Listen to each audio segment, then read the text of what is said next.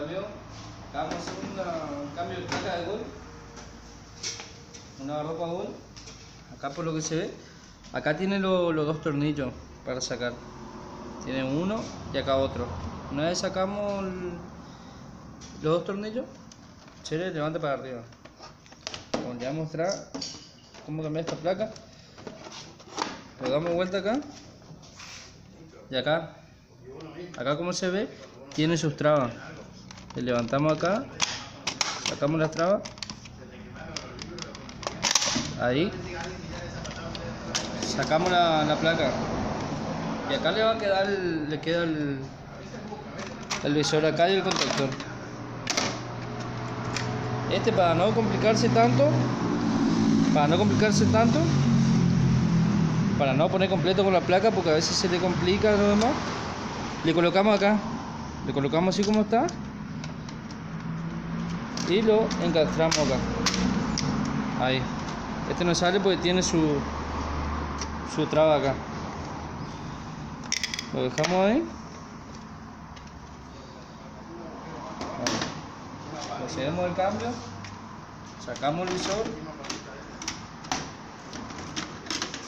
Sacamos el contactor, la botonera.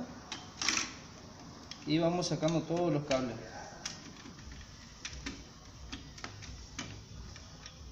Sacamos todos los cables.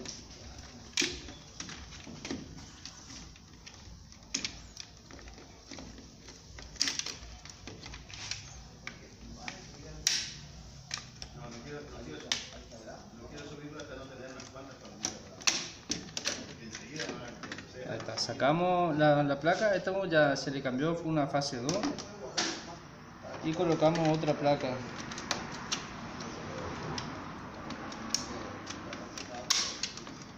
Colocamos la otra placa, bueno, conectamos la electroválvula, el bloque a puerta, acá el presostato, el NTC, el sensor de temperatura,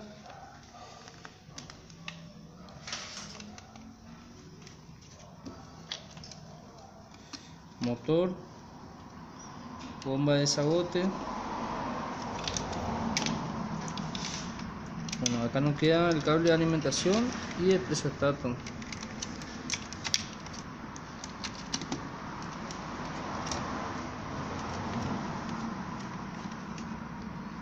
Acá colocamos presostato, el presostato y alimentación. Alimentación ahí. Bueno, una vez colocado acá, vamos con la botonera.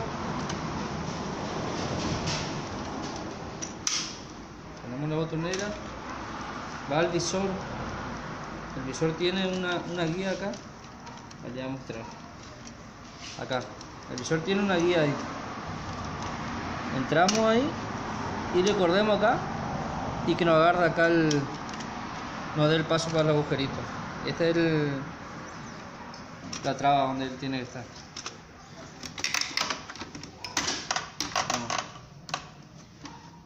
Como le, iba mostrando, muchos por ahí le quieren poner así y se le complica, ¿no? Bueno, si se le complica en este caso, le muestro acá, ponemos el, el contactor acá. Colocamos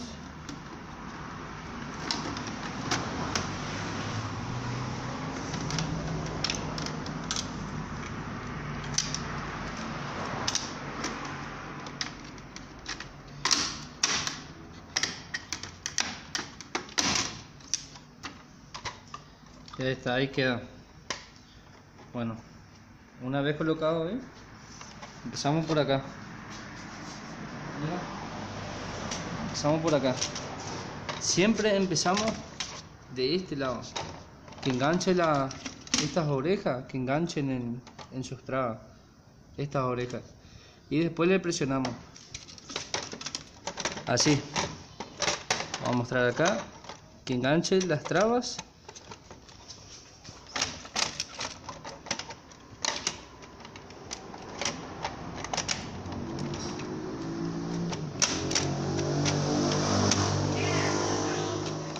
Engancha la traba ahí, la traba y una vez enganchado ahí, presionamos hacia abajo acá.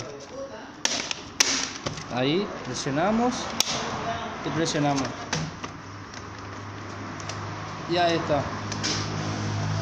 Bueno, ese es el video de hoy, porque me habían preguntado, a muchos se le complica conectar esta placa. Y bueno, ya acá tiene su traba y lo aseguramos con los dos tornillos acá. Espero que les guste el video y le invito a suscribirse.